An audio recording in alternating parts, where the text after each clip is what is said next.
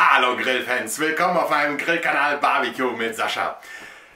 Heute ist immer noch der Geburtstag meiner Tochter. Äh, zusätzlich zu den Moin Balls, die ihr in einem anderen Video gesehen habt oder sehen werdet, das weiß ich noch nicht genau, werde ich auch Bratwurst machen.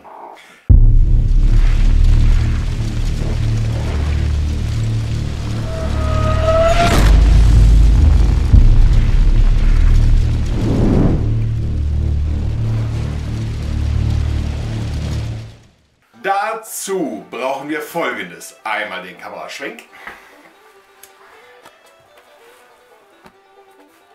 Zwei Drittel Rinderhack, ein Drittel Schweinehack. Im Verhältnis habe ich 2 Kilo, 1 Kilo. Dann von Udenheim Barbecue Bacon Goodness Bratwurst. Der Jörn ist so begeistert von seinen eigenen Gewürzen, da habe ich mir gedacht, kauf es einfach mal, mal gucken, was passiert. Zusätzlich habe ich mir bei meinem Metzger des Vertrauens frischen Schweinedarm besorgt. Und bei Thomas Philips hatten sie eine Wurstmaschine im Angebot. Die ist noch nicht hier oben, die sehen wir dann gleich. Viel Spaß dabei. So, habe ich total vergessen zu erzählen. Jörn hat nämlich alles richtig gemacht. Er hat hier hinten drauf geschrieben, in welchem Mischverhältnis das Ganze gemacht werden soll. Das heißt, man kauft sich nicht nur dieses Gewürz und experimentiert, sondern er hat da schon eine bestimmte Vorstellung gehabt, wie eine Wurst schmecken soll. Und an die werden wir uns einfach mal halten. Und zwar sind das wie folgt: 25 Gramm pro Kilo von dem hier und 17 Gramm Salz. Salz muss extra dazugefügt werden. Finde ich gut, weil manche Leute mögen es etwas salziger, andere etwas weniger salzig und vor allen Dingen hat man dann auch die Möglichkeit, im Zweifel Nitrit-Pökelsalz zu benutzen und daraus eine Meckwurst zu machen. Aber das machen wir nicht jetzt, jetzt machen wir eine Bratwurst. So, Met ist fertig geknetet. Nenne es jetzt Met, weil es gewürztes Hack ist. Also, ich kann nur bestätigen, das riecht absolut genial. Und wenn es so schmeckt, wie es riecht, dann wird das Ding ein voller Erfolg. Das ist die Upsa. Das ist im Übrigen jetzt besagte Wurstmaschine. Hier unten kommen dann diese Töne drauf. Ich habe hier vorne schon mal einen mit dem Darm überzogen. Ich lasse sie jetzt extra da drin, weil ich äh, nicht wusste, wie schnell das geht. Ich ich probiere das erstmal, aber es ging besser als gedacht. Jetzt fülle ich hier, ups, jetzt fülle ich erstmal die Maschine. Und wenn die Maschine gefüllt ist, versuchen wir mal den Rest. Dazu muss das Ganze relativ eng unten rein, damit keine Lufteinschlüsse drin. Und dann sehen wir uns gleich wieder anlesen. So, hier haben wir den Darm. Das Brät haben wir schon bis vorne rausgedreht. Gucken, dass wir das Ganze jetzt luftleer bekommen. Und dann machen wir vorne einen Knoten rein. Habt ihr schon mal mit links einen Knoten gemacht, wenn ihr Rechtshänder seid?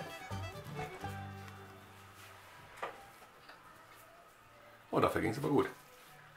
Die überschüssigen Reste, die machen wir nachher weg. So, jetzt mal vorsichtig weiterdrehen. Achtung, ich stelle mich hin. Ja, drehen, drehen, drehen. Hinten ein bisschen festhalten. Ein bisschen schneller drehen. Ja. Gucken, dass nach Möglichkeit keine Luft drin ist. Stopp. Und ein bisschen weiter.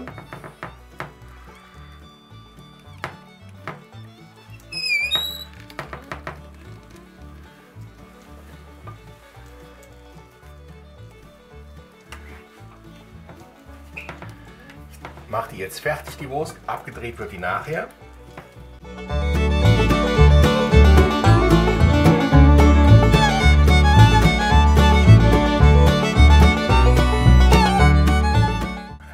Also das geht besser als gedacht. Ich weiß nicht, wie anstrengend das von deiner Seite aus ist.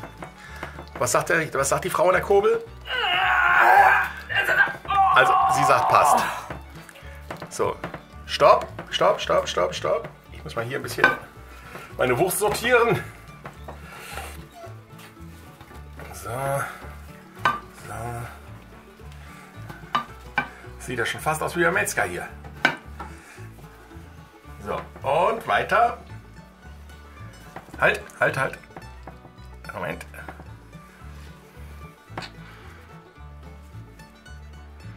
Ja, das kann ich nach mit dem Nädelchen rauspieken, denke ich. Moment.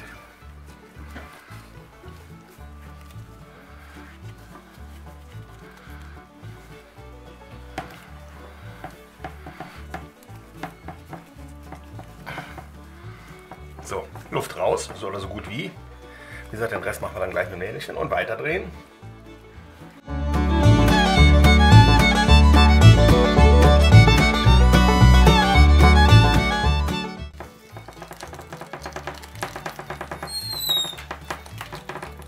Halt, halt! Geht doch nicht mehr.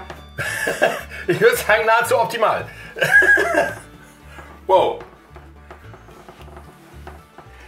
Also das bisschen ist jetzt übrig, das müsste man jetzt mit der Hand reinstopfen. Dadurch, dass ich jetzt aber hier sozusagen fertig bin,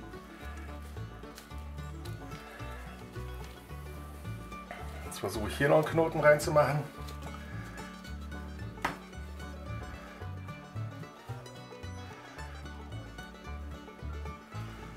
Ich habe zu dicke Finger für so ein kurzes Ding. Ja, ich werde gleich noch einen Knoten reinmachen und dann ist gut. Dann sehen wir uns gleich wieder. So, ich habe eben kurz überlegt, ob ich die Wurst nicht am Stück auf den Grill tue, um mal was wirklich Großes herzustellen. Habe mir dann aber gedacht, nee, äh, das ist ja auch viel zu viel. Das heißt, ich werde jetzt kleine Würstchen abdrehen und die kommen dann nachher auf den Grill. Wie das geht. Man nimmt sich die Würstchen, ich sag mal so gute 17, 18, 20 Zentimeter. Und ich glaube, die sind ein bisschen voll. Und dann kann man die hier drehen. So, dann nimmt man sich das nächste. Gleiche Länge, ganz wichtig, dann in die andere Richtung drehen. Sonst dreht man nämlich hier den Knoten wieder auf. So, dann wieder nächste.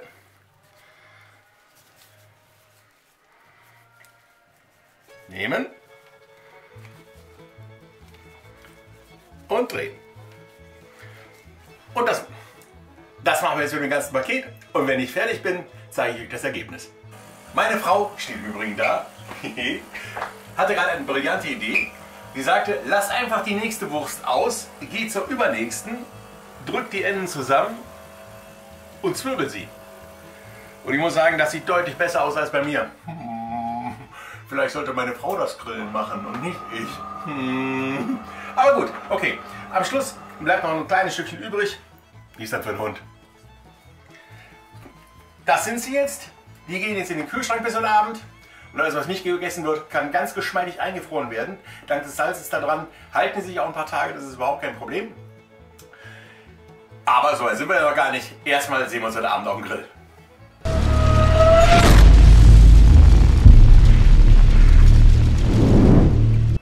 So, hier haben wir die Würstchen. Dadurch, dass wir Rohwurst haben, werde ich die jetzt auch erstmal in den indirekten Bereich legen, damit die warm werden und gar ziehen. Und wenn das dann passiert ist, kommen die auch ganz geschmeidig mit in den direkten Bereich, um auch da ein wenig Farbe ans Fleisch zu bringen. So. Und ja. Alles klar. Passt, wackelt, hat keine Luft. Deckel drauf. Achte drauf. Ventil auf der anderen Seite, damit die Konvektion richtig vernünftig, vernünftig funktioniert. Und dann legen wir mal los. So, Essen ist fertig. Dann würde ich sagen, schnappen wir uns mal eine Wurst.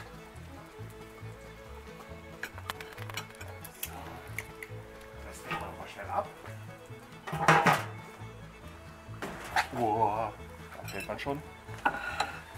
Also die riecht unglaublich. Ich mache jetzt mal einen gekonnten Mittelschnitt.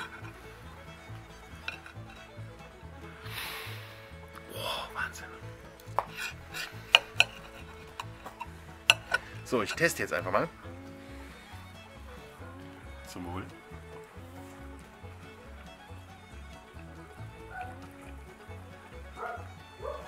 Ich muss dem Jörn recht geben, das Gewürz ist einfach der Hammer. Das hat er richtig gut gemacht. Wenn euch das Video gefallen hat, lasst mir einen Daumen hoch da. Gerne ein Abo, wenn ihr meinen Kanal noch nicht abonniert habt. Habt, Entschuldigung. Und gerne könnt ihr mir auch ein Abo da lassen, wenn ihr den Kanal noch nicht abonniert habt. Abo-Button hier oder hier. Und dann würde ich sagen, sehen wir uns beim nächsten Mal.